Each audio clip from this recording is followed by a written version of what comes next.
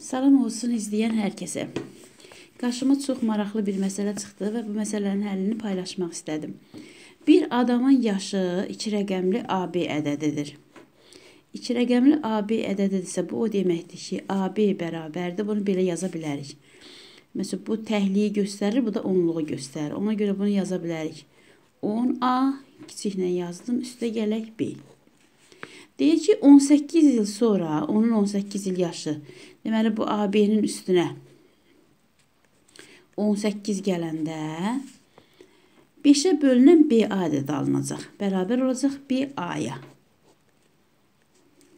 BA da ki 5-ə bölünən ədəddir. Əgər bu 5-ə bölünəndirsə, deməli A bərabərdir. 2 qiymət ala bilər. 0, bir də 5. İndi baxırıq. A birinci halda əvvəldə gəlirdi. Əvvəldə gəlirdisə 2 rəqəmlərin ədədin əvvəlindəki ədəd onluq mərtəbəsindəki ədəd 0 ola bilməz. Deməli 0-ı çıxdıq buradan. Deməli A yalnız 5-ə bərabərdir. Ancaq 5 qiymətini alır. Onda A-nın yerinə 5 yazarıq. İndi bu 10A üstə gəl B-nin yerinə yazaq 10A üstə gəl B, yəni bu AB ədədidir də. Üstə gələk 18 bərabərdir BA alınıb deyir ki, BA-dakı 10B üstə gəl A deməkdir. Və biz A-nın da 5 olduğunu tapdıq. Onda buradan yazarıq. 10 vuraq 5, üstə gələk B, üstə gələk 18 bərabərdir. 10B üstə gələk 5. Burada da B var, burada da B var. Bir yerə yıxsaq 10B-dən B çıxanda qalacaq 9B bərabərdir. Burada 18 var, burada da 50 var. 18 ilə 50-ni toplayanda eləyir 68. Burada da 5 var. 68-dən də 5 çıxanda qalır 63. Deməli 9B bərabərdir 63. İndi buradan B-ni tapa bilərik. B bərabərdir 63 bölək 9. O da eləyir 7. Deməli A 5-dir, B də 7-dir. İndi gəlin bu qiymətləri yerinə yazaq. A 5 olmuşdu, 5 57.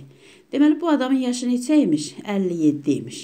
18 ildən sonra yaşı neçə olub? Üstə gəlirik 18. 8 ilə 7 15. 5 yazaq. 1 yadda, 5 ilə 1 6, bir də yadda 7. Olub 75. Bu 75 57-dən 18 il böyükdürmü? Bəli. Bu 75 5-ə bölünən ədəddirmi? Bəli. İndi bizdən soruşur ki, BA ədədi aşağıdakılardan hansıdır? Deməli, C variantı. Burada isə deyir ki, yaşı 2 rəqəmli AB ədədi olan bir nəfərin 18 il sonra yaşı 5-in misli olan BA ədədi idi. AB neçədir? Bu da ona oxşar məsələdir. Burada da 5-in misli elə 5-ə bölünən deməkdir. Yəni 5-ə bölünəndir. Burada da deyir 5-in mislidir, yəni 5-ə bölünəndir. Burada isə AB-ni soruşur. Bayaq BA-nı soruşurdu, indi AB-ni soruşur. İndi baxaq. Deməli 2 rəqəmli AB ədədidir. Bunu necə yazırıq? AB bərabərdir 10A üstə gələk B. Bu 10A üstəgə 1 nə deməkdir? Bax, məsəl üçün elə 37-ni biz necə yazırıq? 30 üstəgə 7 yazırıq. Bax, bu o deməkdir. Yəni, təhlik və onluq mərtəbələrin qiymətlərinin cəmi şəklində yazırıq. O deməkdir. İndi deyir ki, 10A-nın üstəgə B-nin üstünə, yəni bu ədədin üstünə 18 gələndə alınan ədəd olur BA bərabər olur 10 B plus A. Elə yuxarıdakı tənliyin eyni olur. Və deyir ki, bu 5-in mislidirsə, yəni 5-ə bölünən deməkdir. Bunun 5-ə bölünən olması üçün A 5-ə bölünən olmalıdır. Yəni ya 0 ya 5 olacaq. A da birinci halda əvvəldə gəldiyinə görə 0 olmur. Deməli ancaq 5 ola bilər. Deməli A-nın yerinə 5 yazacağıq. İndi burada başqa üsulla həll edək. Dəyişənləri bir yerə yığaq. Burada 10A var, burada A var. 10A-dan A-nı çıxanda qalır 9A. Üstə gələk 18 bərabərdir. Bu də keçirək bu B-nin yanına. Olacaq 9B. Bunların hər bir tərəfini 9-a bölə bilərik. Yəni ixtisar eləyirik. Bunu 9-a böldük, qaldı A. Üstə gələk 18-i 9-a böldük, düşdü 2. Bərabərdir. 9B-ni də 9-a böldük, düşdü B. Deməli, B nəyə bərabərdir? A plus 2-yə. A-nı da biz tapdıq ki, 5 ola bilər. Onda B bərabər 7 ola bilər. Onda bizim birinci ədədimiz 57-dir. Doğru cavabımız olur Y variantı. Burada isə deyir ki, yaşı 2 rəqəmli AB ədədi olan bir nəfərin, yəni yenə də bunun yerinə 10A, üstə gəl B yaza bilərik bunun yerinə. 9 il sonraki yaşı, yəni üstə gələk 9. 5-in misli olan BA ədədi idi. Yenə də deyir 5-in mislidir. Yəni ki, bərabərdir BA-dakı 10B üstə gələk A deməkdir. Yenə də deyir 5-in mislidir, yəni 5-ə bölünür. Deməli, A ya 0-dır, ya 5-dir. Burada da görürük, yenə də A əvvəldə gəldiyi üçün 0 ola bilməz. Deməli, A bərabər 5-dir. Onda biz A bərabər 5-i təyin eləyirik. Ondan sonra baxırıq.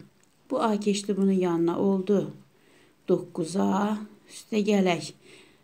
9-u yazırıq burada bərabərdir. Bu B-ni də keçirik bunun yanına oldu 9B. Yəni buradan alırıq ki A plus 1 bərabərdir B-yə. Hər tərəfini 9-a bölürük. Bu da 9-a bölünür, bu da bölünür, bu da bölünür. Biz A-nın da 5 olduğunu tapmışdıq. Deməli onda B bərabərdir 6-ya. Onda axtardığımız ədəd neçə olur? AB-ni bizdən soruşur. Bəli, AB neçədir? Deməli olur 56. Onda cavabımız olur B variantı.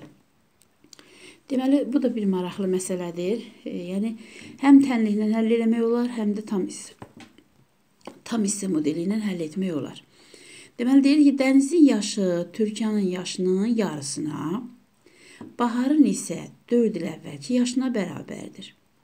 A il əvvəl dəniz və baharın yaşları cəmi Türkiyənin yaşına bərabər olduğuna görə A neçədir? Dəniz adlı şəxs var.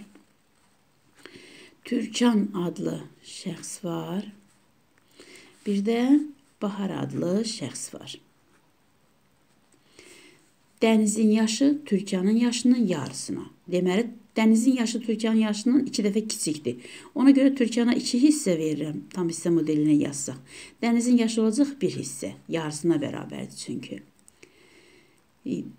Yarısına Baharın isə 4 il əvvəlki yaşına bərabərdir. Bu, Baharın 4 il əvvəlki yaşına bərabərdir.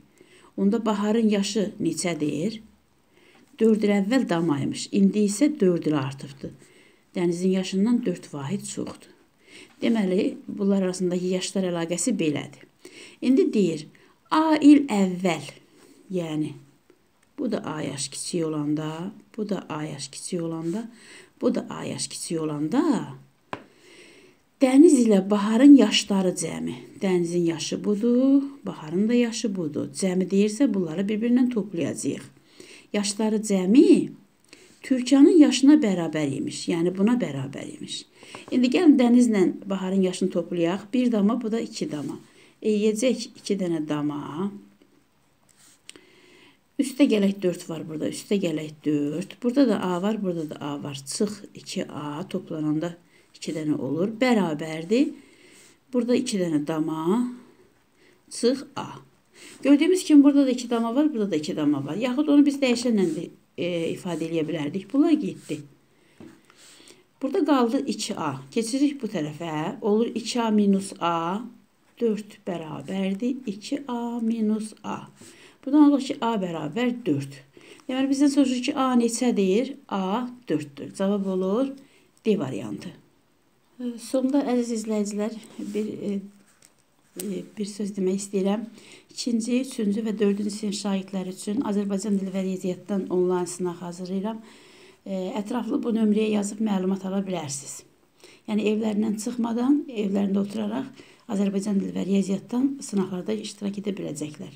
Həmçinin ibtidai sinif müəllimləri üçün də 40 suallı riyaziyyat testi olacaqdır.